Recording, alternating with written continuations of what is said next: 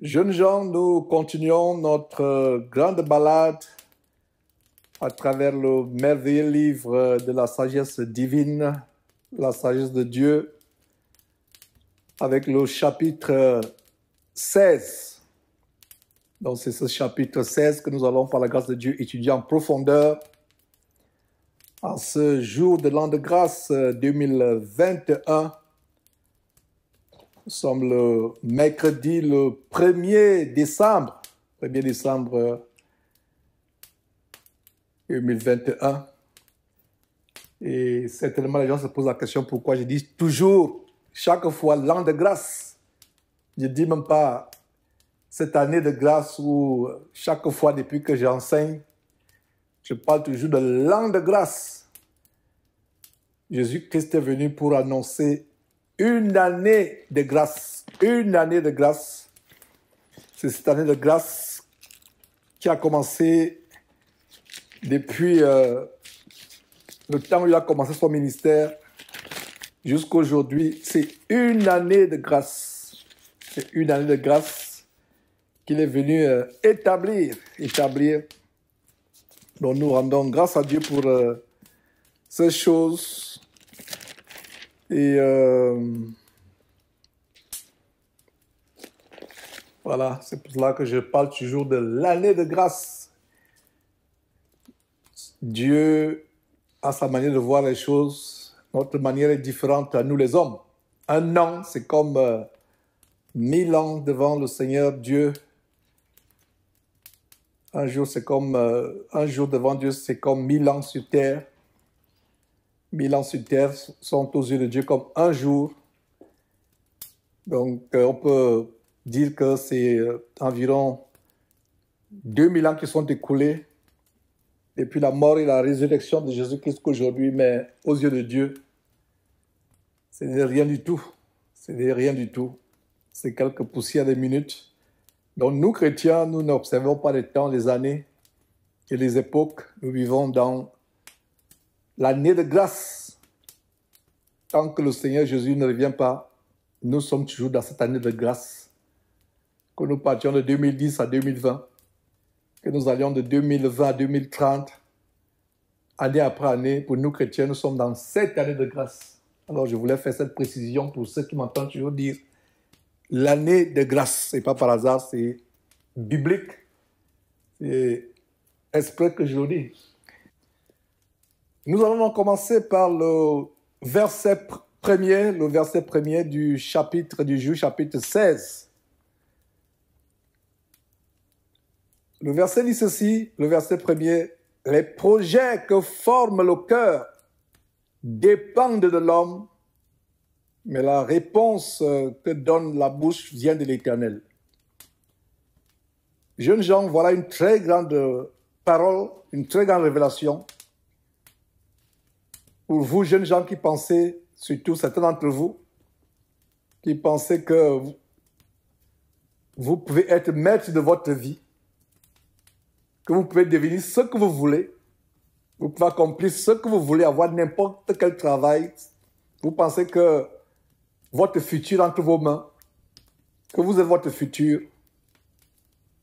Voilà ce que la Bible dit. Jeune homme, jeune femme, tu n'es pas maître de ton futur. Tu n'es pas maître de ton avenir. Tu ne peux pas devenir ce que tu veux. Regardez ce qu'on vous enseigne à l'école. Tu peux devenir tout ce que tu veux dans ce pays, les États-Unis. Tu peux tout devenir, tu peux tout faire. Insensés sont ceux qui pensent ainsi. Qui sait si tu te relèveras de ton sommeil le lendemain matin? Qui sait si euh, tu ne seras pas emporté des années plus tard par une euh, euh, maladie? Il y a des enfants qui sont levés dans cette ville de Houston pour aller vaquer leurs occupations, soit à l'école,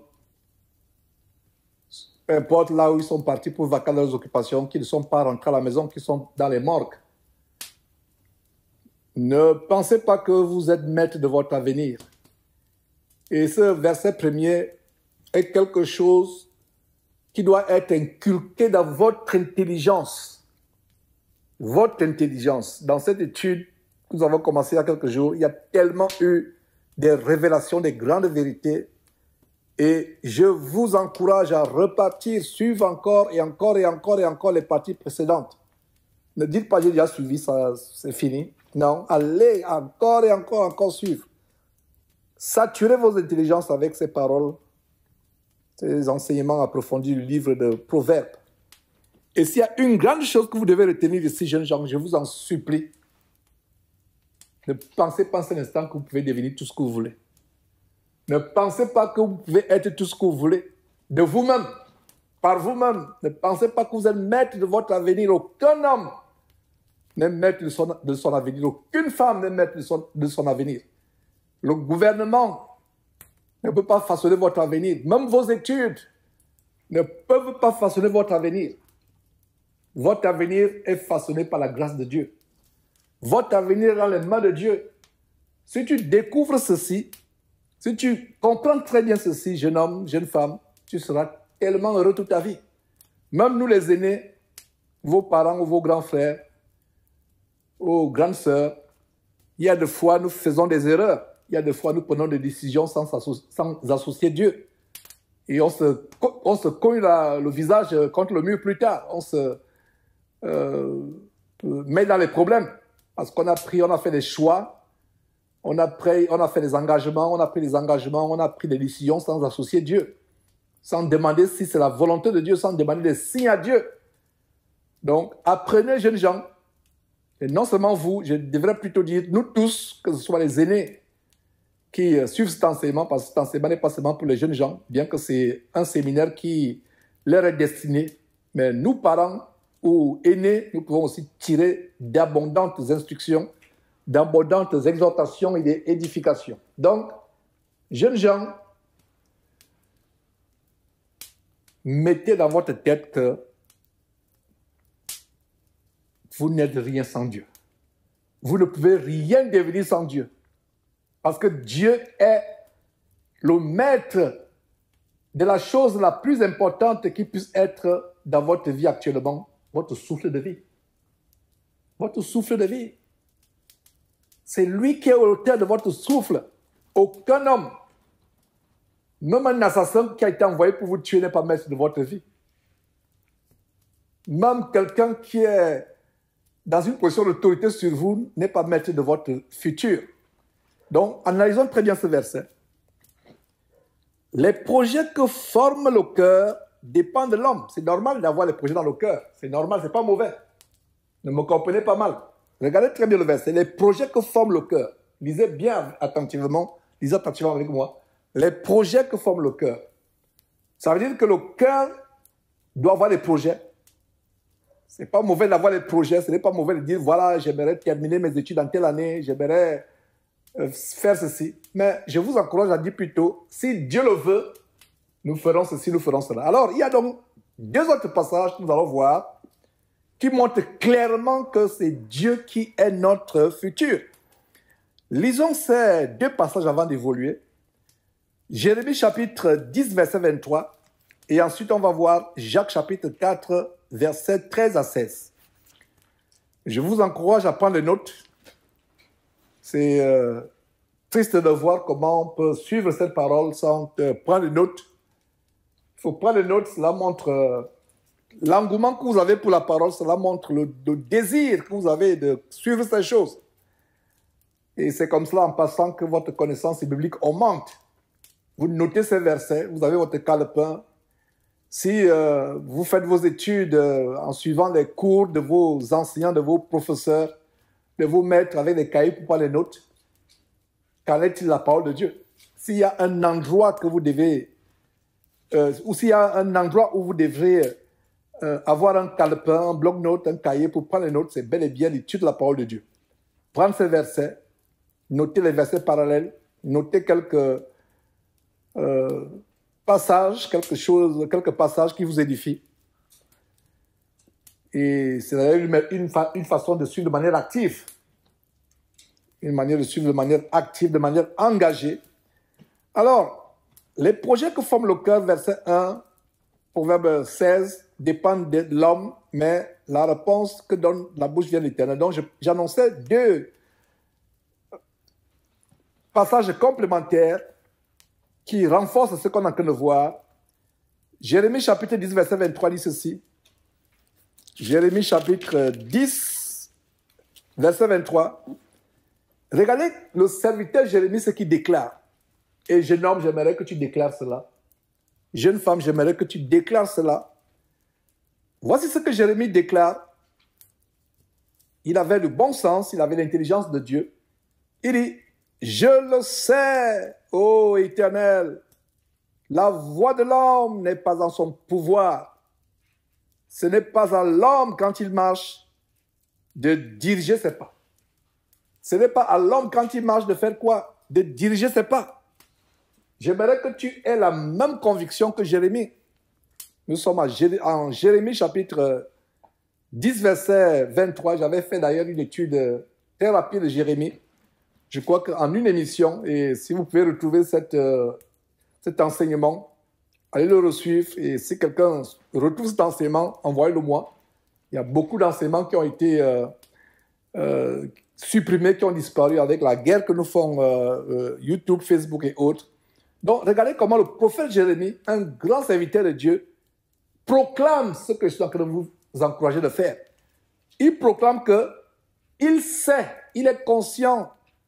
Il dit, je sais, ô éternel, ma voix n'est pas entre mes mains, n'est pas mon pouvoir.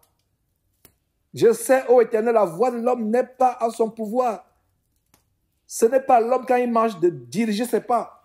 Donc ça veut dire que ce n'est pas l'homme de dire qu'il va faire ceci, va faire cela, faire, c'est les pensées charnelles et orgueilleuses, comme nous pouvons d'ailleurs voir en Jacques chapitre 4, euh, du verset 13 au verset 16. Et c'est une exhortation pour ceux qui forment les projets. N'oubliez pas ce qu'on a vu en Proverbe chapitre 16, verset 1, il y a quelques secondes, quelques minutes parlant des projets. Verset 1, Proverbe 16, 1, les projets que forment les cœurs dépendent de l'homme. C'est pas mauvais d'avoir les projets. Et Jacques, inspiré par le Saint-Esprit, regardez comment trois serviteurs de Dieu, Salomon, Jérémie et Jacques s'accordent sur quelque chose. Alors, nous sommes au verset 13 de Jacques chapitre 4. Vous maintenant qui dites, Aujourd'hui ou demain, nous irons dans telle ville, nous y passerons une année, nous trafiquerons et nous gagnerons. Verset 14. Vous qui ne savez pas ce qui arrivera demain, car ce n'est pas... Car qu'est-ce que votre vie Excusez-moi, car qu'est-ce que votre vie? Vous êtes une vapeur qui paraît pour un peu de temps et qui ensuite disparaît. Verset 15, vous devriez dire au contraire, si Dieu le veut, nous vivrons et nous ferons ceci ou cela. Verset 16, mais maintenant vous vous glorifiez dans quoi? Dans vos pensées. Comment? Vos pensées orgueilleuses. Ces choses mauvaises de que de se glorifier de la sorte. Et le verset 17 conclut en disant, celui donc qui sait faire ce qui est bien et ne le fait pas commet un péché. Est-ce que vous savez qu'il y a même un péché dans le fait de penser qu'on peut faire ceci, on peut faire cela, sans associer Dieu? Que dit la parole de Dieu? Maintenant, verset 16, maintenant vous vous glorifiez dans vos pensées orgueilleuses. Voilà un détail de l'orgueil. Il y a des chrétiens qui peuvent dire, mais moi je ne me vante pas. Moi je, je ne suis pas gonflé. Je ne suis pas fanfaron, je ne suis pas orgueilleux. Je n'ai pas l'orgueil en moi, je n'ai pas la vantardise. Mais voilà un détail de l'orgueil que beaucoup de chrétiens ignorent, qui consiste à quoi? Qui consiste à faire des projets. Oh, je vais faire ceci, je vais faire cela dans deux ans. Dans un an, à 17 ans, j'irai à l'université. À 16 ans, non, j'ai même envie d'aller à l'université à 16 ans. Donc, je vais tout faire, 15 ans même. Dans 15 ans, je vais à l'université. Et voilà ce que je vais faire je vais faire mes études d'ingénierie. Après l'ingénierie, je vais travailler à la NASA. Après la NASA, je vais travailler chez Boeing. Après cela, je vais peut-être euh, être euh, sénateur. Après sénateur, non. Pas comme ça. Ta vie ne t'appartient pas. Ta vie doit être pour glorifier Dieu. Jeune homme, jeune femme, dis Seigneur Dieu, ma vie n'est pas en ton pouvoir. Donne-moi d'avoir un futur, un avenir qui glorifiera ton nom et qui ne va pas m'amener à me perdre.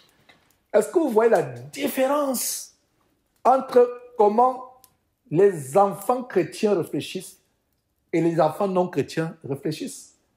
Comprenez que votre vie est entre les mains de Dieu, pas entre vos mains. Je vais faire ceci, je vais faire cela. Je vais, voyager dans telle ville, aller faire l'université là-bas. Je vais faire ceci, je vais faire cela, je vais voyager pour aller au pôle Nord. Non.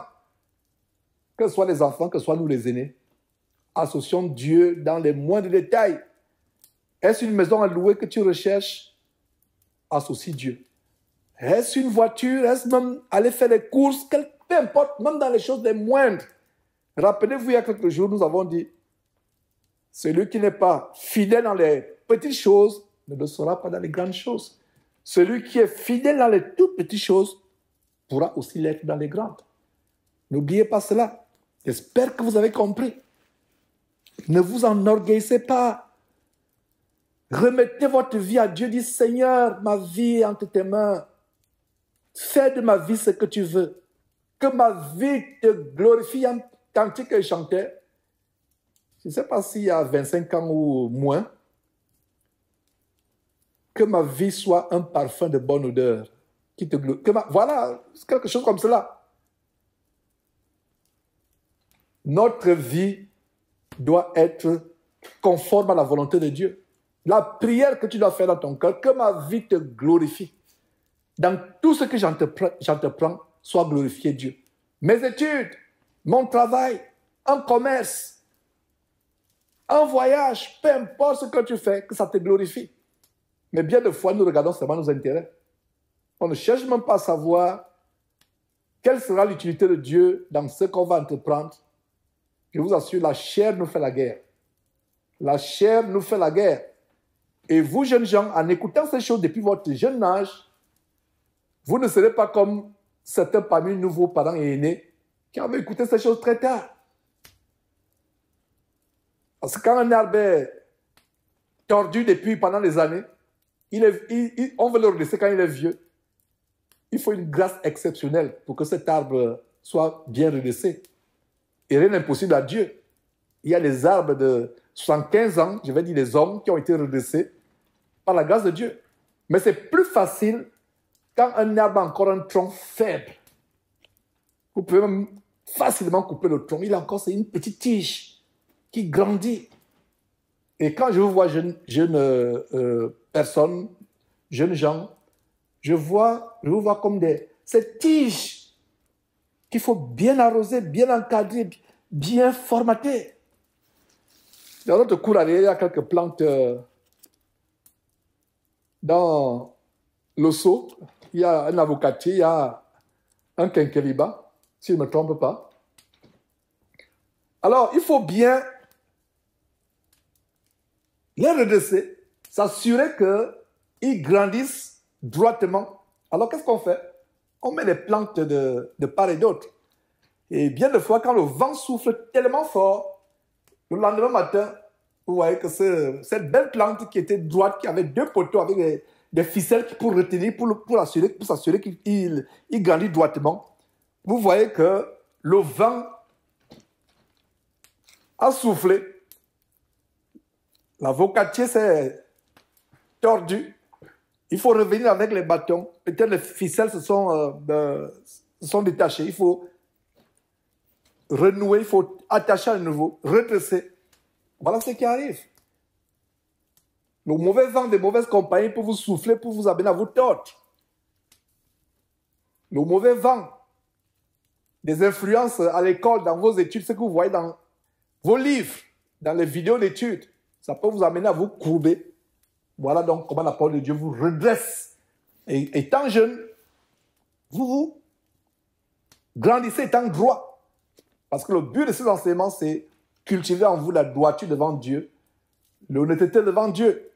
Et Voilà un aspect tellement important que beaucoup de jeunes, et même beaucoup de chrétiens, même les chrétiens aînés dans la chair, oublient qu'on peut être orgueilleux, vaniteux, vantard sans s'en rendre compte. Je vais faire ceci, je vais faire cela, je vais acheter tel terrain, je vais commencer dans deux ans à faire des plantations, je vais commencer à faire ça, je vais aller dans tel pays commencer à, à cultiver le champ, je vais aller dans telle ville commencer un commerce, je vais faire ceci, je vais faire... Non, ne vous précipitez pas. Associons Dieu dans ce que nous faisons. Verset premier, lisons-le à nouveau et avant de poursuivre. Les projets que forme le cœur dépendent de l'homme, mais la réponse que donne la bouche vient de l'Éternel. La réponse vient de l'Éternel. Verset 2. Toutes les voies de l'homme sont pures à ses, yeux, mais celui qui pèse les esprits, c'est l'Éternel. Que signifie le verset 2 Généralement, l'homme pense que tout ce qu'il fait est bien. C'est ce que ça signifie. toutes les voies de l'homme sont pures à ses yeux. Donc l'homme pense que ce qu'il fait, euh, c'est bien. Il y a de fois, vous voyez quelqu'un qui prend la mauvaise route, une mauvaise décision par rapport à soit l'éducation des enfants, soit euh, s'engager dans un mariage qui ne glorifie pas Dieu. Quand vous voyez la personne, vous sentez que la personne est en train de prendre une voie d'égarement vous allez voir la personne par amour. Et même ça, il faut le faire avec beaucoup de sagesse. La Bible dit que personne ne souffre comme si mixant les affaires d'autrui. Je pense à un exemple. Vous voyez la personne prendre une mauvaise direction. Vous savez, vous êtes convaincu que la personne ne voit pas, que la personne n'a pas le discernement. Vous allez voir la personne, la personne dit que moi, je ne vois pas les choses comme toi, nous ne voyons pas les choses de la même manière. Je ne vois pas ce qui est mal. Et plus tard, quand la personne se colle le visage, et c'est là où la personne va savoir, effectivement, bien de fois, beaucoup de jeunes qui rejettent l'instruction, soit d'un père, soit d'une mère, soit de la parole de Dieu, c'est après les conséquences qu'ils regrettent. Mais il est tard, bien de fois, il est tard. Et vous portez ces conséquences toute votre vie. Dans le verset, il dit Toutes les voies de l'homme sont pures à ses yeux. Mais celui qui pèse les esprits, c'est l'éternel. Donc, à partir d'aujourd'hui, ne pensez pas que tout ce que vous faites est bien. Ne pensez pas que tout ce que vous faites est pur. Examinez-vous devant Dieu. Un homme qui craint Dieu, une femme qui craint Dieu, et vous, enfants, comme je vous apprends la crainte de Dieu au travers de ces, euh, euh, de études approfondies, demandez chaque fois, Seigneur Dieu, est-ce que ce que je fais est pur, pas à mes yeux, mais est pur à tes yeux. Nos yeux n'ont pas d'importance. Nous ne faisons pas les choses pour que ce soit pur à nos yeux ou bien aux yeux des gens. Nous faisons les choses pour que ce soit comment Pur aux yeux de Dieu uniquement. Le verset 3 résume ce qu'il vient de vous dire. Recommande à l'éternel tes œuvres et tes projets réussiront. Voilà. Jeune homme, si tu as des projets, et je t'encourage à avoir des projets, c'est pas mauvais. Mais elle les projets, pas de folie, pas d'amour du monde, elle les projets qui glorifient Dieu. Associe Dieu dans tes projets. Alors voilà, jeune homme, quand tu as les projets, comment il faut faire. Verset 3 te dit de faire. verset 3 dit quoi? Recommande tes œuvres, ta vie, tes projets, tes ambitions, tes rêves. Recommande-les à Dieu et tes projets réussiront. Dieu ne ment pas. Beaucoup de jeunes ont échoué parce qu'ils n'ont pas recommandé leur vie à Dieu. Apprends à partir de ce soir à recommander ta vie à Dieu tu verras. Apprends dans les petits détails. Je vais faire ceci, je vais faire cela. Dans les moindres petits. Recommande, apprends à le faire. Tu ne seras jamais déçu. Verset 4. L'Éternel a tout fait pour un but, même le méchant pour le jour du malheur. Le verset 4 répond à la question de plusieurs personnes. Pourquoi les hommes sont méchants sur terre? Pourquoi il la méchanceté? Voilà le verset. Voilà la réponse. Donc certains méchants sont là ils sont pour un but. Pour un but. C'est peut-être pour que Dieu se glorifie en eux, ou bien se glorifie par eux. Comme on a vu dans l'étude, ou bien dans le livre, on peut voir dans le livre d'Esther, comment euh, la méchanceté diabolique d'Aman amené Dieu à se glorifier dans la délivrance du peuple, du peuple juif. Un méchant peut exister pour proclamer la gloire de Dieu pour un but. On a vu Pharaon au temps de Moïse en Égypte. Comment un, un, roi, Pharaon, un roi endurci, tellement farouchement, tellement farouche et endurci contre le peuple, le peuple de Dieu. Mais Dieu s'est glorifié. Le méchant a un but. Pour le jour du malheur. Donc, sœur, frère, si tu poses, la question, mais pourquoi Dieu permet qu'il y ait les méchants? Pourquoi Dieu permet qu'il y ait les pécheurs? Voilà la réponse. Verset 5. Tout cœur hautain est l'abomination à l'éternel. Tout cœur hautain. Certes, il ne restera pas impuni. impuni. Ce verset 5 est terrifiant. Et nous avons vu, il y a quelques minutes seulement, un détail de l'orgueil. Car autant c'est l'orgueil. Nous avons vu un détail.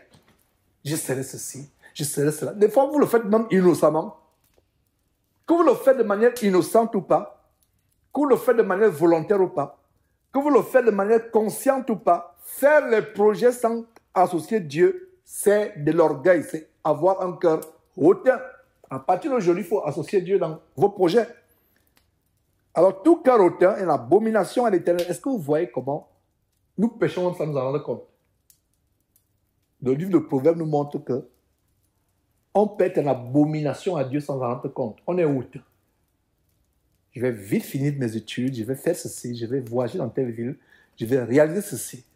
J'ai envie de faire telle invention, j'ai envie de faire telle recherche qui va révolutionner le monde.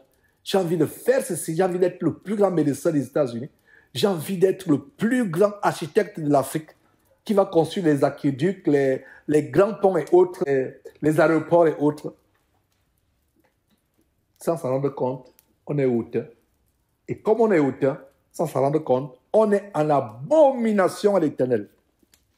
Verset 6. Par la bonté et la fidélité, on expie l'iniquité et par la crainte de l'éternel, on se détourne du mal.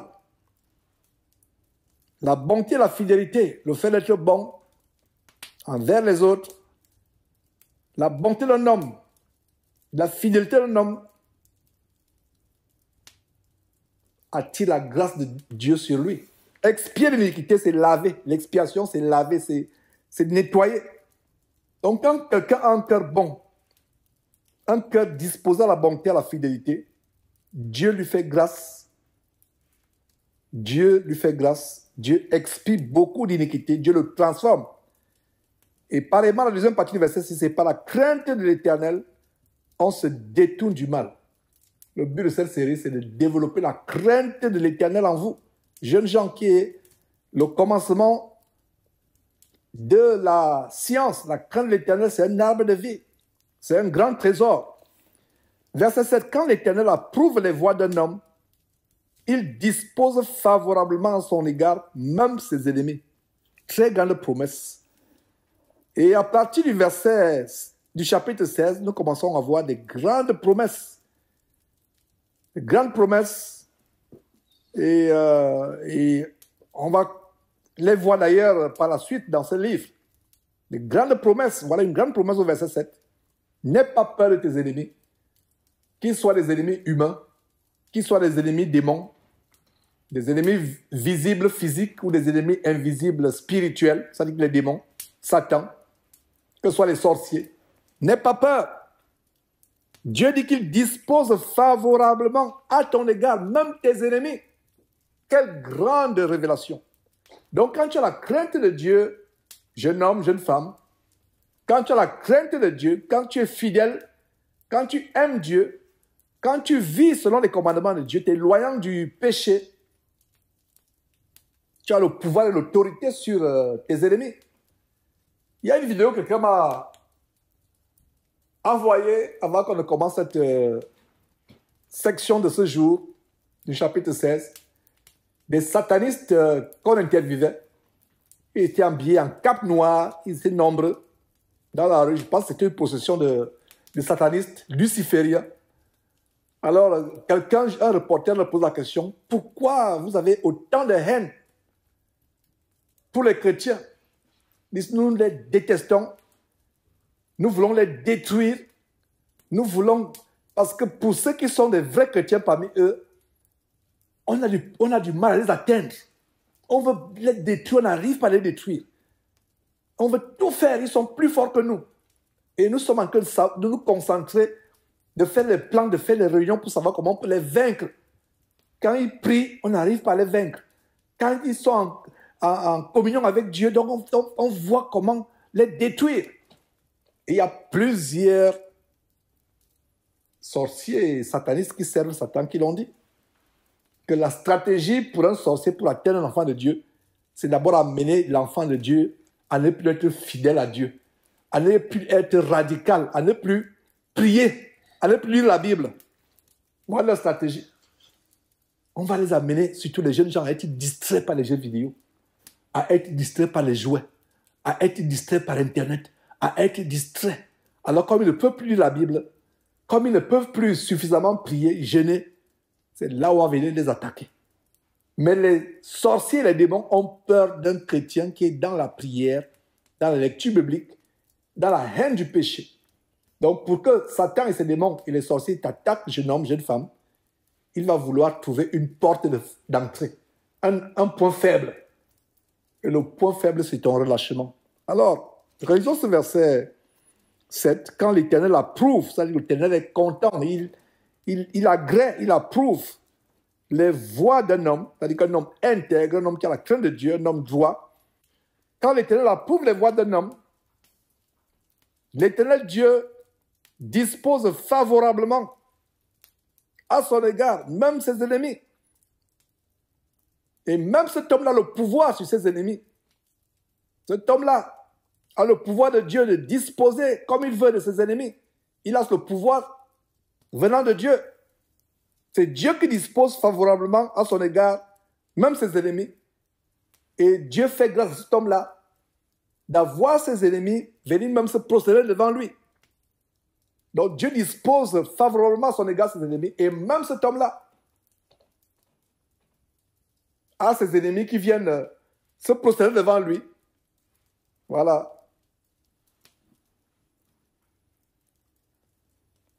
Verset 8. Mieux vaut peu avec la justice que de grands revenus avec l'injustice. On a vu ça à plusieurs reprises. Voilà une grande exhortation à se contenter de ce qu'on a, à ne pas rechercher à s'enrichir par tous les moyens, préférer avoir peu avec la crainte de Dieu, avec la droiture, avec l'intégrité, en vivant dans la sanctification, que d'avoir des grands revenus avec le mensonge, la fraude, l'escroquerie, le vol, les assassinats, le meurtre. Verset 9, le cœur de l'homme médite sa voix, c'est mais c'est l'Éternel qui dirige ses pas. C'est exactement ce qu'on a vu au premier verset. Ton cœur médite des projets. Ton cœur en train de réfléchir sur prendre telle ou telle voie. Emprunter tel ou tel chemin. Dieu te révèle que c'est lui qui dirige tes pas. Tu ne peux rien faire. Et voilà ce que vous devez faire, jeune homme, jeune femme, mon épouse et moi, quand nous nous engageons sur une voie, nous ne sommes pas sûrs, nous prions Dieu, nous disons ceci, Seigneur Dieu, si cette voie que nous sommes sur le point de prendre a quelque chose que nous ne voyons pas, que nous n'arrivons pas, à discerner, s'il y a un piège, annule ce projet, fais échouer ce projet, bloque ce projet. Et je vous assure que cela marche, pas plus tard qu'aujourd'hui. Peut-être j'aurai l'occasion de témoigner un, autre jour. Ça marche. Vous voulez prendre une voie, vous voulez prendre telle route, vous voulez faire telle chose, vous avez des doutes, vous êtes un peu confus, vous ne savez pas si c'est la volonté de Dieu ou pas. Faites comme nous prier et dire, Seigneur Dieu, si la voie que je suis en train de vouloir parler, il y a un piège, ça peut être un mariage, ça peut être euh, une formation que vous voulez faire, un voyage. Dit Seigneur, si ça ne t'honore pas, pas ton grand amour, bloque. S'il y a quelque chose, un piège, une tragédie au bout du chemin, bloque. Et si vous êtes sincère, Dieu va bloquer. Bien de fois, quand l'homme veut quelque chose par tous les moyens, il veut. Quand, la chair veut quelque chose, c'est pour ça que dans le livre de Jacques, il a dit, vous demandez, vous ne recevez pas parce que vous demandez mal dans le but de satisfaire vos passions. Et le, verset continue en disant, adultère que vous êtes, ne savez-vous savez pas que l'amour du monde est inimitié contre Dieu? Celui qui sait faire ce qui est bien et ne le fait pas comme un péché, on vient de voir cela. L'amour du monde est inimitié, contre, contre Dieu. Voilà. Donc quand on demande des choses, il faut savoir pourquoi on demande ces choses. Et euh, vous pouvez lire d'ailleurs cela en Jacques chapitre 4 à partir du verset 3. Vous demandez vous ne recevez pas parce que vous demandez mal dans le but de satisfaire vos passions. Adultère que vous êtes, ne savez-vous pas que l'amour du monde est inimitié contre Dieu? Celui donc qui veut être ami du monde se rend comment? Se rend ennemi de Dieu. Bien de fois, quand on veut quelque chose, par tous les moyens, on veut la chose, on ne pèse même pas les conséquences, on ne réfléchit même pas quelles peuvent être les conséquences de ces choses que nous demandons. Est-ce qu'elles peuvent nous détruire? Est-ce qu'elles peuvent nous éloigner de Dieu? On va tout prix, on va tout prix. On est avide, on veut recevoir quelque chose de Dieu, on force même la main à Dieu. Ne faites, ne faites plus jamais ce genre de prière dans le cas où vous le, vous le, vous le faisiez. Demandez à Dieu, Seigneur, est-ce que ce que je demande là, est-ce que c'est même ta volonté que je l'ai? Ce projet dans lequel je veux m'engager, est-ce que c'est ta volonté? Cette voie que je suis en train d'emprunter, est-ce que c'est ta volonté? Est-ce que vous comprenez, jeunes gens? Voilà la sagesse de Dieu. Voilà la sagesse. Voilà la sagesse. Verset 9 à nouveau. Le cœur de l'homme médite sa voix, mais c'est l'Éternel qui dirige ses pas.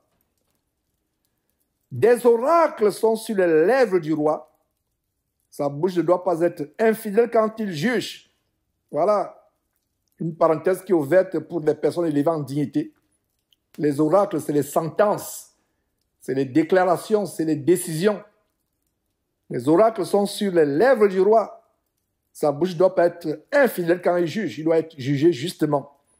Et il y a quelque chose qu'on a vu il y a quelques jours la fausseté dans les affaires, le mensonge, la fausseté, la fourberie. C'est ça la substance du verset 11. Verset 11 donc, le poids et la balance juste sont à l'éternel. Tous les poids du sac sont son ouvrage. Donc, tous ceux qui aiment la justice doivent euh, s'éloigner de la balance fausse ou des poids frelatés, des, poids contrefaits pour euh, voler les gens, pour les gruger, pour les escroquer. Le poids et la balance juste sont à l'éternel.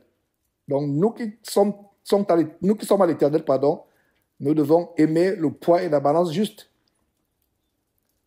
Verset 12. Les rois ont horreur de faire le mal, car c'est par la justice que le trône s'affermit. Malheureusement, notre génération n'a plus ce genre de roi. La plupart des rois que nous avons aujourd'hui, des présidents, des chefs d'État, c'est plutôt des lois criminelles légalisant l'homosexualité, le mariage entre un homme et un homme, le mariage entre une femme et une femme, légalisant le meurtre des bébés innocents dans le ventre. Et euh, comme j'ai eu le cœur fendu en écoutant un juge de la Cour suprême démontrer la nécessité de tuer les bébés dans le ventre. Incroyable. Un juge de la Cour suprême américaine. Ce qu'ils ne savent pas, c'est un grand débat aux États-Unis. La Cour suprême est en train de vouloir euh, enfin, les gens veulent que la Cour suprême euh, euh, casse la décision du gouvernement de Mississippi de rendre illégal, de criminaliser l'avortement à un certain âge de la grossesse. C'est déjà pas, parce que l'avortement doit être criminel, criminalisé, doit être un meurtre, même si l'enfant a une seconde. Mais que l'enfant a une seconde. Il parle de fœtus. Il parle de fœtus dans le ventre. Il y a quelqu'un, je crois un journaliste, pour fermer la bouche à cette femme, qui est l'un des neuf juges de la Cour suprême américaine. Un journaliste lui ferme la bouche en expliquant l'étymologie du mot fœtus. Dans le mot fœtus, il y a la vie. L'origine du mot grec fœtus, c'est la vie. Il y a la vie. Donc on dit ce n'est qu'un fœtus. Ce n'est qu'un fœtus, ça veut dire ce n'est que la vie. Donc beaucoup de gens disent qu'ils n'ont pas avorté. Et c'était ça l'argumentation de cette femme de la Cour suprême américaine. dit ce n'est qu'un fœtus. Il n'y a aucune preuve scientifique que le fœtus peut ressentir la douleur, que le fœtus peut euh, manifester la vie. Pourtant, le mot fœtus, c'est la vie. L'étymologie, la signification du mot fœtus, c'est la vie. Et euh, c'est de manière tellement euh, brillante que ce journaliste a fermé la bouche à cette femme qui est juge d'une des plus grandes cours du, monde, la Cour suprême américaine. Vous voyez? Le verset 10 dit Les rois ont en horreur de faire le mal. C'est par la justice que le trône s'affermit. Les rois ont en horreur de faire le mal. Quand on dit roi ici, c'est toutes sortes de personnes dans une position d'autorité. Les législateurs, ceux qui ont le pouvoir, les juges, mais aujourd'hui, c'est rare. Je ne sais même pas si dans ce monde pervers et corrompu, il y a un seul roi qui a horreur de faire le mal. Tout leur cœur ne se porte que vers le mal. Et d'ailleurs, c'est la prophétie de la fin des temps qui s'accomplit devant nos yeux de manière effroyable, à savoir que les gens seront fanfarons, insensibles, amis du péché, amis du mal, ennemis des gens de bien. Verset 13. Les lèvres justes gagnent la faveur des rois et ils aiment celui qui parle avec droiture lèvres justes gagnent la faveur des rois. Ce qui était au temps de, du roi Salomon, c'est devenu très rare aujourd'hui. Quand on est juste, on devient l'ennemi du monde entier. Quand on est droit, on est persécuté. Nous vivons la fin des temps, les amis. Jeunes gens, c'est la fin des temps. Verset 14. La fureur du roi est un messager de mort et un homme sage doit l'apaiser. Je reprends, la fureur du roi est un messager de mort et un homme sage doit l'apaiser. Rappelez-vous, jeunes gens, que je vous ai dit que le roi, ça peut être un président, un roi, une reine. Bref, c'est toute personne ayant une position d'autorité. Prenons l'exemple d'un policier. Ici aux États-Unis, qu'est-ce qui se passe? Beaucoup de jeunes ont été tués par les policiers pour avoir résisté à l'arrestation. Il y a eu le cas de George Floyd, un homme de mauvaise vie qui a été euh, tué par un policier pour avoir résisté à l'arrestation même s'il avait raison, il devrait, il aurait dû se soumettre, se faire arrêter et aller devant un juge et démontrer s'il avait raison, démontrer euh, qu'il n'avait rien, rien, fait de mal. Ce verset s'applique de formelle manière, surtout avec les théories policières qui gangrène notre pays ici. La fureur du roi est un messager de mort. Un homme sage doit l'apaiser. Ça veut dire que tu es devant la police. Je me rappelle, il y a quelques mois, je traversais une ruelle qui n'est pas empruntée généralement par beaucoup de voitures. Alors, je ne savais pas quelle était la limite, la vitesse, euh, euh, la, vitesse maximale sur ces rues. Je n'allais même pas à grande vitesse. Je ne savais même pas que j'allais sur une rue, rue, où il y avait euh, une certaine limitation de vitesse. Vraisemblablement, le signe m'a échappé. Je conduisais. Me voilà, je suis arrêté par la voiture d'un policier. Il s'arrête. Quand un policier vous arrête pour une infraction routière aux États-Unis, vous aurez un ticket. Écoutez très bien ceci, jeunes gens. Ce monsieur est venu. J'ai été tellement respectueux. C'était un blanc en passant. Pourquoi il président blanc? Ceux qui sont aux États-Unis doivent comprendre qu'il y a une inimitié entre policiers blancs et policiers noirs. Il ne sait pas pourquoi cette inimitié a, a lieu, mais elle a lieu parce que, à cause de l'histoire de ce pays, une histoire malheureuse, et euh, nous, chrétiens en passant, nous devons avoir le pardon parce que Dieu nous appelle à pardonner. Si euh, dans vos recherches euh, scolaires, académiques ou dans vos livres, vous, il vous a révélé euh, le traumatisme qu'a subi telle ou telle race. Et si vous êtes descendant de telle race, que ce soit de la race noire, ou de la race juive, ou peu importe, ou de la race indienne, nous avons le péché. Peu importe ce que vos ancêtres ont pu souffrir comme euh, torture, comme injustice, nous chrétiens, nous avons le pardon. Donc, ce policier s'est approché vers moi. Il m'a fait remarquer l'infraction. Je lui ai dit, mais je ne savais même pas qu'il y avait une pancarte. Je suis vraiment désolé. Avec beaucoup de respect, je l'appelais sœur, avec beaucoup de considération. Et euh, je lui ai fait comprendre que non, je ne savais pas. Une rue que j'emprunte euh, rarement. Donc, je n'avais même pas remarqué euh, le, signal. Ce monsieur me dit parce que j'ai été vraiment poli à son égard, ce qui est surprenant avec les vidéos qu'on voit, les gens qui se bagarrent avec les policiers. Il ne m'a pas donné le ticket, il m'a laissé partir.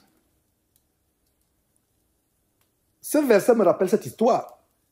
Quand on est en face de l'autorité, imaginez un policier qui a eu une journée difficile, où il a des problèmes avec sa femme au foyer, il passe des moments de dépression, il cherche tout simplement la petite bête. Votre comportement irrespectueux, votre comportement euh, de désinvolture peut exciter, sa colère, attiser un grand feu qui va vous brûler. Vous voyez comment ce verset a une application aujourd'hui. Verset 14, la fureur du roi est un message de mort, ça porte la mort. Beaucoup de jeunes aux États-Unis ont été tués. Il n'y a pas de semaine qu'un jeune aux États-Unis soit tué par un policier. Pourquoi? Ils se croient tout permis. Ils veulent argumenter, ils veulent se chamailler, se quereller avec le policier. Le policier est une autorité. Le juge est une autorité il y a quelqu'un qui s'est retrouvé en train de passer plusieurs années en prison alors qu'il est parti pour une infraction qui pouvait, à, à la limite, lui faire passer un ou deux jours en prison. C'est une petite infraction. Mais il est tellement irrespectueux d'une stupidité vraiment hors pair. Il insultait le juge. Le juge lui dit, Monsieur, taisez-vous si vous continuez. ce ne sera plus euh, quelques jours, ce sera peut-être euh, trois mois. Il dit, euh, I don't care. Faites ce que vous voulez. Mais si vous parlez encore, ce ne sera pas trois mois, ce sera six mois. Il continue. Ce n'est plus six mois. Si vous continuez encore, ce ne sera pas six mois, ce sera deux ans. Il continue, je, je, I don't care, ce n'est pas mon problème, faites tout ce que vous voulez. Il a reçu plusieurs années pour une infraction qu'il devait faire un jour ou euh, qu'il devait lui euh, l'amener à faire un jour ou deux jours en prison ou même être relâché. Vous voyez, mes frères, jeunes frères, jeunes sœurs, le verset 14 qui nous amène à voir des applications précises. La fureur du roi est un messager de mort et un homme sage doit l'apaiser. Un homme sage. Donc quand vous allez voir l'autorité, l'autorité se met en colère, vous vous mettez aussi en colère. Ça n'arrange pas les choses. Qu'en est-il de vos parents Votre mère se met en colère, tu te mets aussi en colère. Ta mère est l'autorité, au cas où tu ne savais pas. Même si la barbe commence à sortir, jeune homme, ta mère est l'autorité. Qu'en est-il ton père Il élève la voix, tu élèves aussi la voix. Non, pas du tout. L'autorité reste l'autorité, même si elle a tort. Même si elle a tort. Ce policier, l'histoire euh, que je de vous raconter, jusqu'à aujourd'hui, j'ai du mal à croire, j'ai du mal plutôt à voir l'infraction qui me reprochait ce jour-là. J'ai du mal à voir. Il n'y avait pas de signe, il n'y avait pas de limitation. J'ai du mal à voir.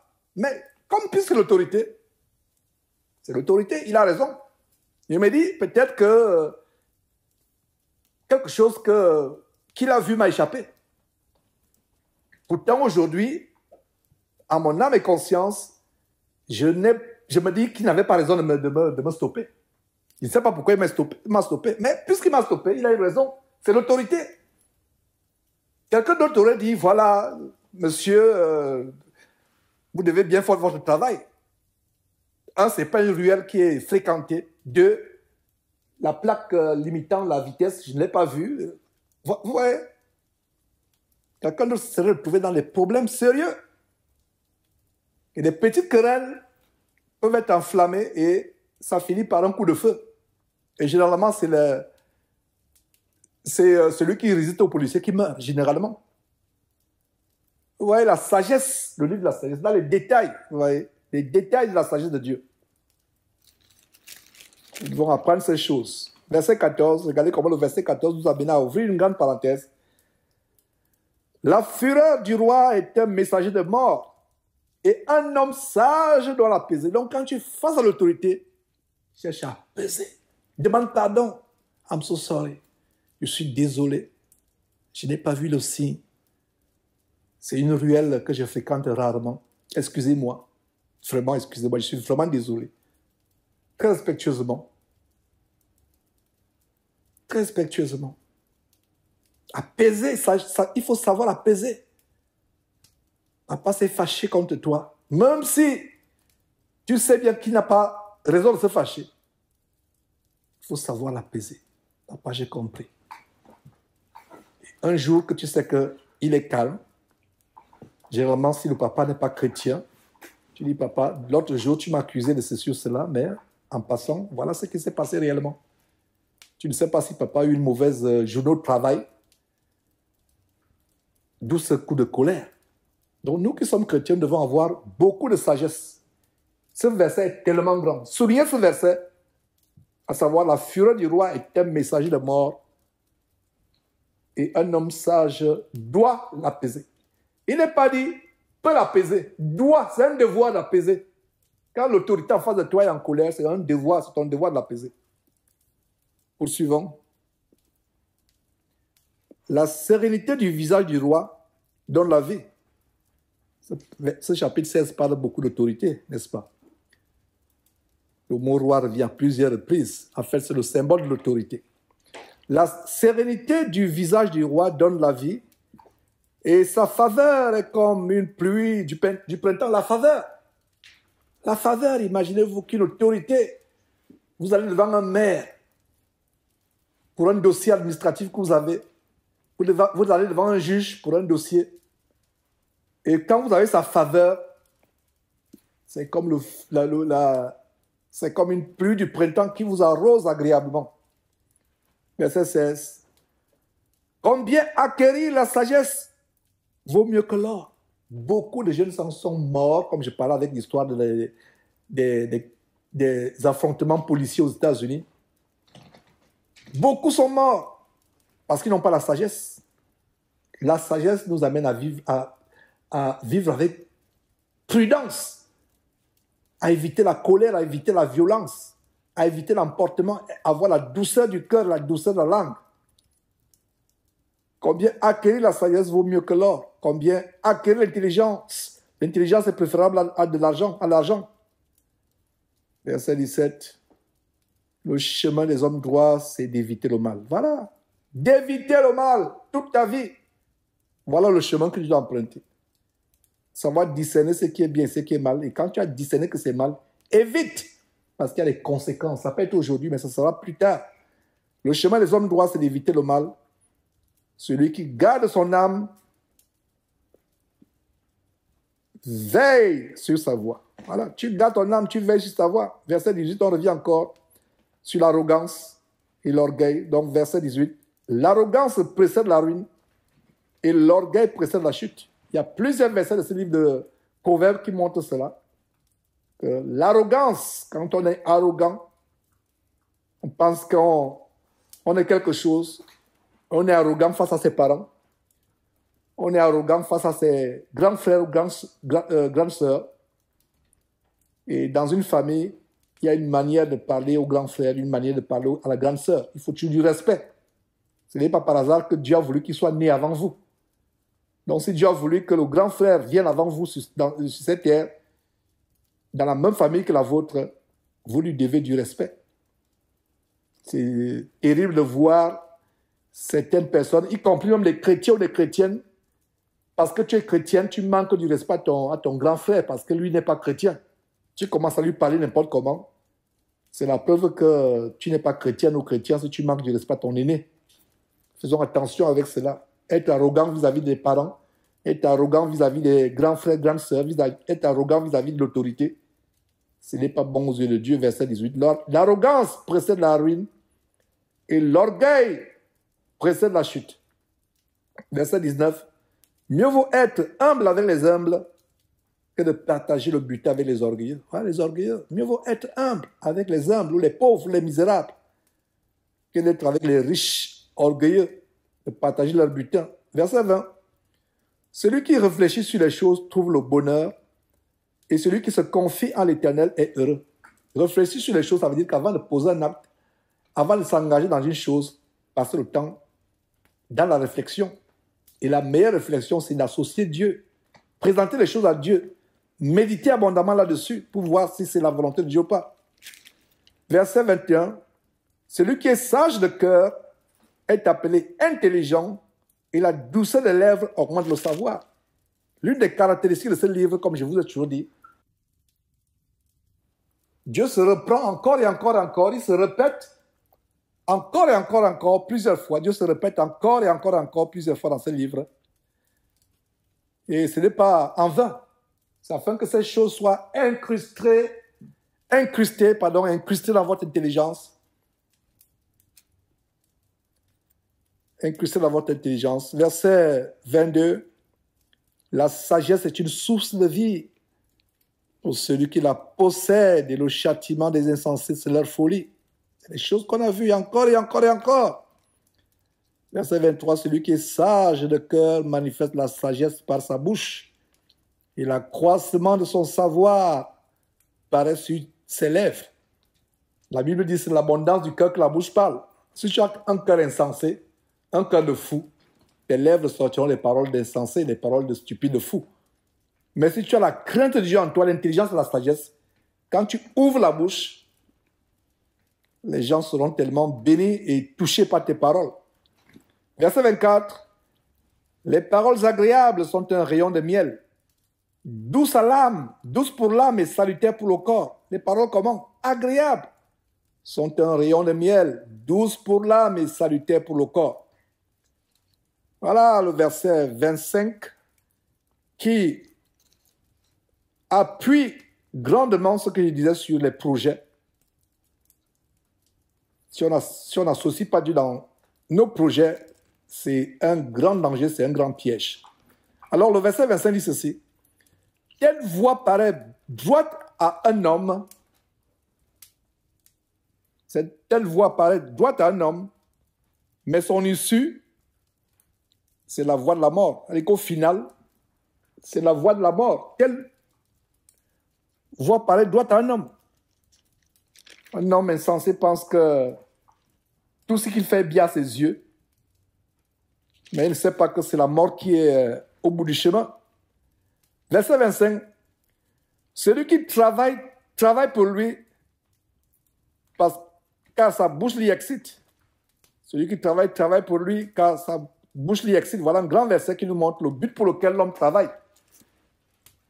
Après la chute d'Adam et qu'est-ce que Dieu dit? C'est à la sueur de son front que l'homme mangera son pain. Et c'est ce qui arrive aujourd'hui. À la sueur de son front, il faut travailler. Et c'est un encouragement contre la paresse. Tu veux manger, avoir ton pain, travaille dur pour avoir ton, ton pain. Ne mange pas le pain de l'oisiveté, ne mange pas le pain de la paresse. Verset 27. L'homme pervers prépare le malheur et il a sur ses lèvres comme un feu ardent. Et jusqu'à présent, on a vu beaucoup de versets où Dieu nous met en garde par rapport à nos lèvres. Dans l'homme pervers prépare le malheur. Il y a quoi? Sur ses lèvres, il y a comme un feu ardent. Verset 28. L'homme pervers. Voilà, nous continuons à voir quelques détails de l'homme pervers. Il prépare le malheur. Il y a sur ses lèvres un feu ardent. Maintenant, verset 28. L'homme pervers excite les querelles et le rapporteur divise les amis. Exciter les querelles, c'est euh, amener les amis à se courir les têtes. Il a, dit il a dit ceci sur toi. Il a dit cela sur toi. Et bien de fois, ce n'est pas vrai. Et même si c'est vrai, il faut avoir la sagesse de garder souvent le silence, de ne pas dévoiler les secrets. Parce qu'il y a des secrets qui, étant dévoilés, peuvent amener un mari et, et sa femme à divorcer. Est-ce que vous savez qu'il y a eu des tentatives de vouloir divorcer un homme et une femme en racontant n'importe quoi? Un secret que la femme t'a confié. Tu viens dire ça ouvertement devant son mari, alors que c'est un secret. Si euh, le mari n'est pas fermé, il peut être choqué. Vous voyez, il y a tellement de détails, il y a beaucoup de sagesse dans ce livre. Et ce livre dévoile la manière par laquelle euh, certains parmi nous, y compris les chrétiens, peuvent se comporter de manière stupide. Donc il faut à garder les secrets. Quelqu'un est venu te voir pour te confier quelque chose d'intime dans son foyer. Ce n'est pas pour que ce soit sur les toits. Et maintenant, toi, par ruse, tu viens par derrière ou même publiquement pour que les gens se couillent les têtes. Donc ceux qui ont voulu euh, amener mari et femme à se couiller les têtes, enfants et parents à se couiller les têtes, frères et sœurs à se couiller les têtes, c'est quelque chose qui est désagréable aux yeux de Dieu. Donc, exciter les querelles entre les gens, amener les gens à se courir les têtes, faire la médisance. Verset 28 à nouveau, l'homme pervers excite les, querelles et le rapporteur divise les amis. Les amis sont séparés à cause des rapporteurs, des, des gens qui font la médisance. Les, les, les frères d'une même famille sont divisés. Il y a eu des divorces à cause euh, du rapportage, à cause des commérages, à cause des, du colportage. Nous devons faire, faire attention. Et si euh, tu as divisé un couple par tes commérages, si tu as euh, détruit une famille, enfants et contre enfants, tu les as montés l'un contre l'autre, c'est un péché tellement grave il faut vraiment une repentance profonde avec l'arme pour euh, avoir, si possible, le pardon de Dieu. Mais Dieu est compatissant, lent à la colère et prêt à pardonner ceux qui se repentent d'un cœur euh, sincère et de manière profonde. Verset 29. L'homme violent séduit son prochain et le fait marcher dans une voie qui n'est pas bonne. Voilà, l'homme violent. Quelqu'un t'amène à voler, quelqu'un t'amène à être un brigand. Il y a des jeunes femmes qui sont retrouvées à se prostituer parce que les copines les ont amenées à se prostituer. Voilà quelques exemples. C'est pour cela que, jeunes gens, choisissez bien les personnes avec qui vous marchez. Choisissez bien. La Bible dit celui qui a beaucoup d'amis les a pour son malheur, pour sa perdition. Mieux vaut être seul si vous ne trouvez pas quelqu'un qui peut vous aider à aller vers le, ciel. Parce qu'aujourd'hui, dans cette génération, de plus en plus, la plupart des amis sont ceux qui vous amènent vers le bas, vers le séjour des morts, vers l'enfer. Cherchez ceux qui vous amènent vers le haut, vers le ciel, le royaume de Dieu. Verset 30. Celui qui ferme les yeux pour se livrer les pensées perverses, vous voyez le mot pensée. On a commencé à voir aussi les pensées. Depuis là, ce n'était que les paroles des lèvres, les paroles de la bouche. Mais nous voyons les pensées. Et vous vous rappelez, je vous ai dit de mémoriser quel livre? Ou plutôt quel verset? Philippiens chapitre 4, verset 8. Philippiens chapitre 4, verset 8. Celui qui ferme les yeux pour se livrer à les, pensées perverses, celui qui se mord les lèvres a déjà consommé le mal. Verset 31. Les cheveux blancs sont une couronne d'honneur. Les cheveux blancs. Je me demande pourquoi certains vieillards veulent teindre les cheveux. Y compris un vieillard chrétien, entre guillemets. La Bible dit que les cheveux blancs sont une couronne d'honneur. Certaines personnes, y compris des chrétiens ou chrétiennes, quand les cheveux blancs commencent à apparaître de manière agressive, c'est le désarroi. Donc voilà un verset qui doit plus te consoler. Que les cheveux blancs sont quoi? Une couronne d'honneur. Et c'est désolant de voir un vieillard qui a les cheveux blancs mais qui est un bandit, qui est un voyou. Je encore dans la justice au Gabon. J'étais choqué lors d'une audience criminelle deux compères sont venus à l'audience. Des bandits, des voyous, deux vieillards ayant les cheveux blancs. Même le juge a, explosé de colère. Et je me, je me, rappelle très bien ce que le juge avait, dit ce jour-là. Et je ne pense pas que ce juge, ce juge était chrétien. Je ne pense pas. Mais ce juge a dit exactement ce verset en disant, quand on vous voit avec vos cheveux blancs, on s'attend à la sagesse. Mais avec des accusations qui sont contre vous, c'est des voyous aux cheveux blancs. Je me rappelle très bien ce que le juge avait dit. Et ça, ça, ça me rappelle quoi? Ça nous, rappelle, ça nous amène à quoi, pardon? Ça nous amène à ce verset. Des cheveux blancs sont une couronne d'honneur. Pour beaucoup euh, euh, de vieillards, c'est plutôt une couronne de déshonneur. Ça doit être une couronne d'honneur. La sagesse. Quand tu vois quelqu'un qui a les cheveux blancs, la tête toute blanche, on imagine la sagesse, mais quand il ouvre la bouche, c'est la folie qui sort. Vous voyez une maman, elle a les cheveux blancs, la tête blanche, mais quand elle ouvre la bouche, pour donner les conseils à son enfant, c'est plutôt les conseils comment l'enfant doit se prostituer, amener l'argent de la famille. Ça devient une couronne de honte. Donc les cheveux blancs doivent être, sont, même pas doivent, sont aux yeux de Dieu, une couronne euh, de gloire. Et c'est ce qui doit être pour nous chrétien une couronne de, de gloire. Les cheveux blancs sont une couronne de gloire, d'honneur, de, ou de gloire, d'honneur. Et c'est dans quel chemin qu'on, la, la trouve? C'est dans le chemin de la justice qu'on la trouve, cette couronne d'honneur. Verset 32, celui qui est lent à la colère vaut mieux qu'un héros. Et celui qui est maître de lui-même que celui qui prend des villes. Vous voyez, la maîtrise de soi et la colère ne peuvent pas aller ensemble. Quand on est colérique, on est prompt à faire des gaffes. On est prompt à commettre de terribles, de terribles erreurs qu'on pourra regretter, toute sa vie. La colère est le contraire de la maîtrise de soi. Dieu, je nomme surtout vous les jeunes gens, Dieu vous amène à avoir la maîtrise de soi, de ne pas être colérique, verset 33, on finit par là. On jette le sort dans le pan de la robe, mais la décision vient de l'Éternel. Et ce verset 33 a un côté de sorcellerie. On jette le sort dans le pan. au Cameroun, il y avait une tribu dont on disait qu'ils avaient l'expertise de jeter les sorts. Je ne vais pas donner le nom de la tribu. Ne serait pas sage de le faire. Mais ils disaient qu'ils avaient, on disait d'eux. Je prends un exemple de sorcellerie. Qu'ils avaient l'expertise. Ils prennent un verre magique.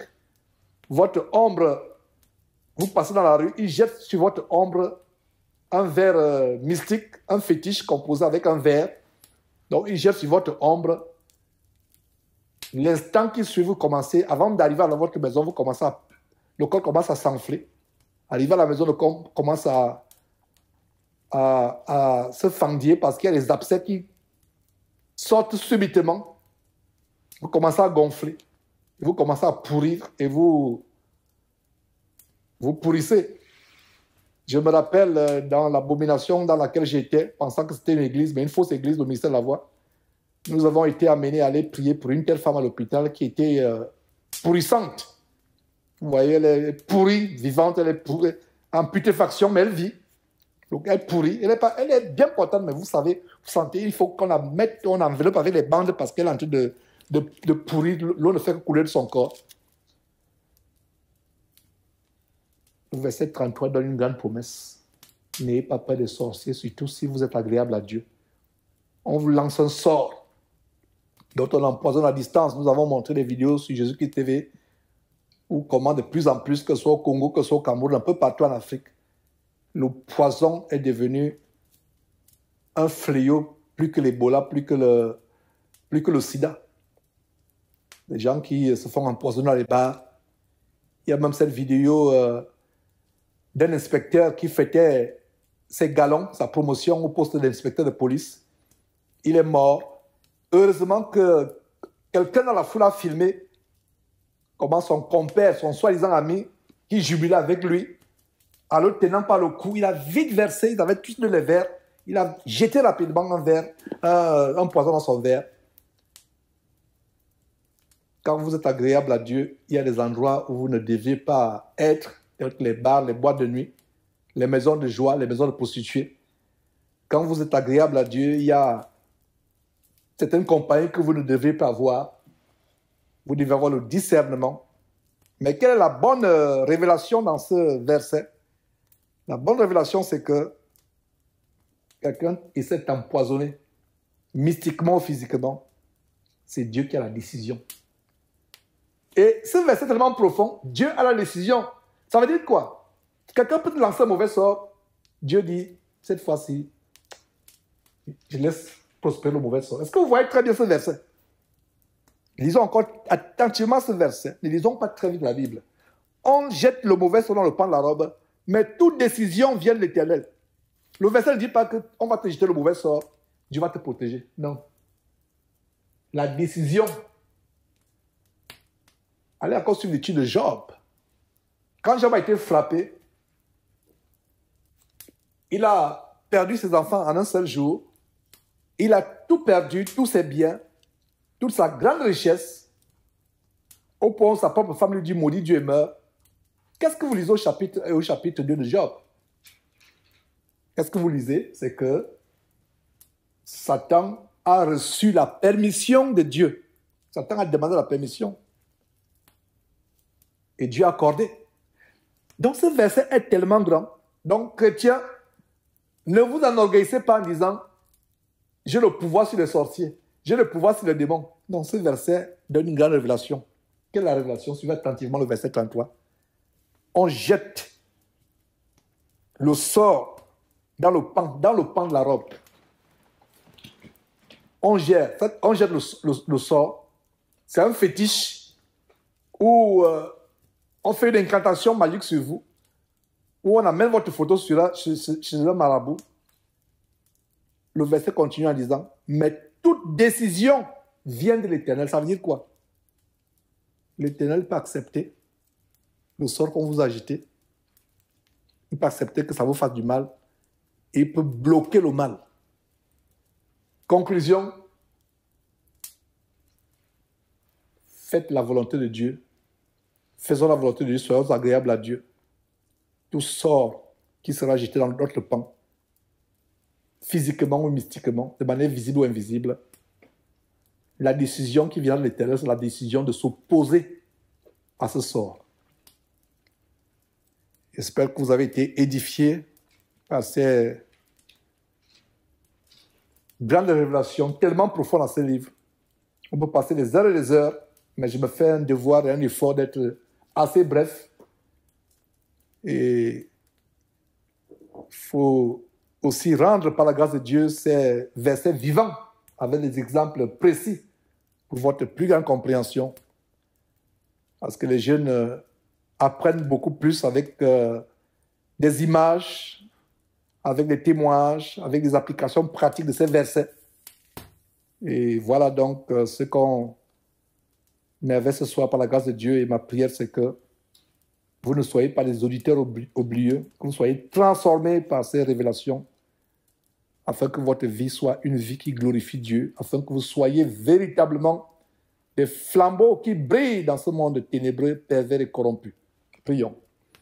Éternel Dieu, notre Dieu, notre Père, merci infiniment pour ce message, ces, ces exhortations, ces encouragements, ces grandes révélations que tu nous montres à travers ce livre. Seigneur, merci infiniment pour ces jeunes gens. Donne-leur d'être délivrés de tout orgueil pour ce qui est de leur avenir, des projets qu'ils entreprennent. Donne-leur de vivre en te mettant en premier dans tous les états de leur vie, Seigneur Dieu. Donne-leur d'expérimenter la crainte de toi. Donne-leur d'être transformés et de vivre dans la droiture, dans l'honnêteté et dans la sanctification, Seigneur Dieu, par ta grâce. Merci infiniment au nom de Jésus-Christ. Amen.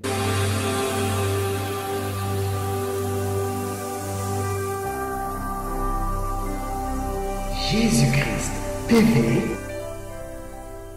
vous connaîtrez la vérité et la vérité.